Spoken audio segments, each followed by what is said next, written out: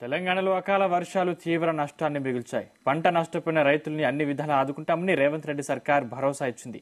ఈ క్రమంలోనే పంట నష్టంపై వ్యవసాయ శాఖ అధికారులు సర్వే మొదలుపెట్టారు. రాష్ట్ర వ్యాప్తంగా పది జిల్లాల్లో పంట నష్టం జరిగినట్లు వ్యవసాయ శాఖ అంచనా వేసింది.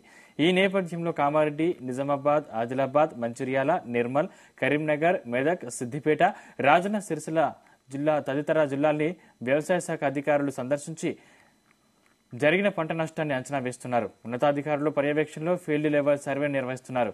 ఈ నష్టాన్ని లెక్కించి ఎన్నికల తర్వాత రైతులకు ఇన్పుట్ సబ్సిడీ అందించాలని నిర్ణయించారు.